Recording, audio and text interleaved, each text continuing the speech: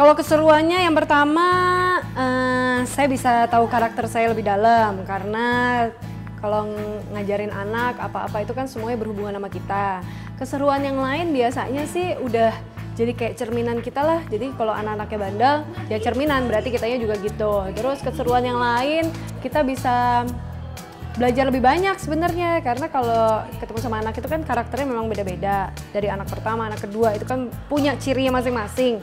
Jadi serunya biasanya kita kalau ke anak pertama ngajarinnya misalnya caranya A ternyata yang kedua harus dengan cara yang C. Nah hal-hal yang kayak gitu itu kan jadi nambah referensi kita juga. Apalagi ya seruan yang lain bisa main bareng. Yang tadinya saya nggak suka naik kuda jadi suka naik kuda yang tadinya saya suka berenang sekarang jadi berenangnya sama anak. Jadi nggak bisa seru-seru sendiri.